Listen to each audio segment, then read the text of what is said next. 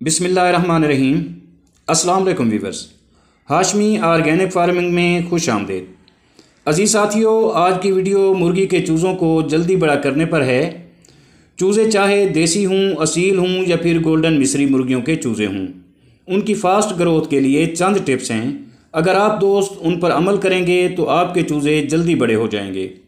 Viewers सबसे अहम और पहली जो टिप्स है, वो ये है कि आप अगर बाहर की हैचरी से चूज़ा ख़रीदते हैं तो आप काबिल अतमाद हैचरी से चूज़ा ख़रीदें। और ये यकीन कर लें कि आपने जिस नस्ल का इंतखब किया है, चूज़े उसी नस्ल के हैं। दोस्तों, दूसरे नंबर पर जो स्टेप है, वो है ब्रूडिंग। चूज़ों की ग्रोथ में ब्रूडिंग का बहुत अमल दखल होता है। अगर चूज़ों की ब्रूडिंग दुरुस्त होगी तो आपके चूज़े सेहतमंद रहेंगे। और ग्रोथ भी जल्दी होगी। और अगर ब्रूडिंग का अमल सही ना हुआ तो चूज़े छोटे रह जाएँगे और उनकी ग्रोथ नहीं होगी, क्योंकि चूज़े की ज़िंदगी के पहले सात दिन बहुत अहम होते हैं। इसका मतलब है कि अगर आप अपने चूज़ों की अच्छी खुराक, अच्छी ब्रूडिंग और अच्छा माहौल देते हैं तो आपके चूज़े एक हफ़्ते के अंदर तीन गुना साइज़ और वज़न कर जाएँगे। शर्त यह है कि अच्छी खुराक और अच्छा माहौल और अच्छी ब्रूडिंग हुई हो।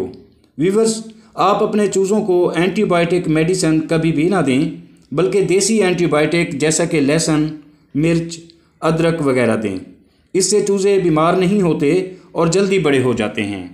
लहसुन, मिर्च और अदरक एक कुदरती एंटीबायोटिक है। इन सब के अलावा चूज़ों की बेहतर ग्रोथ के लिए आप अपने चूज़ों को अंडे उबाल कर उनको मैश करके भी दे सकते हैं। विवर्स उबले हुए अंडे चूज़ों की ग्रोथ में बेहद इजाफ़ा करते हैं।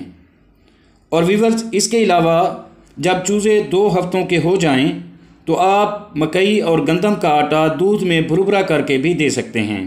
दूध, मकई और गंदम का आटा भी चूज़ों की बढ़ोतरी में अपनी मिसाल आप है।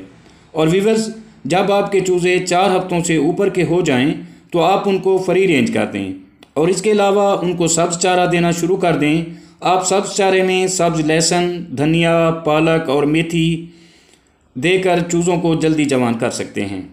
इस तरीके से पलने वाले चूज़े बीमारियों से पाक, सेहतमंद, जल्द जवान होते हैं और जल्द ही गोश्त और अंडों के लिए तैयार हो जाते हैं। अब आप पर मुनहसर है कि आप अपने चूज़ों को जल्दी बड़ा करने के लिए कितनी मेहनत करते हैं। वीवर्स वीडियो अच्छी लगी हो तो वीडियो को लाइक और शेयर ज़रूर कर दें। और अगर आप दोस्त मेरे चैनल पर नए हैं तो प्लीज़ चैनल को भी ज़रूर सब्सक्राइब कर दें। बहुत शुक्रिया। जल्द मिलते हैं किसी अगली वीडियो में। तब तक अल्लाह हाफिज़।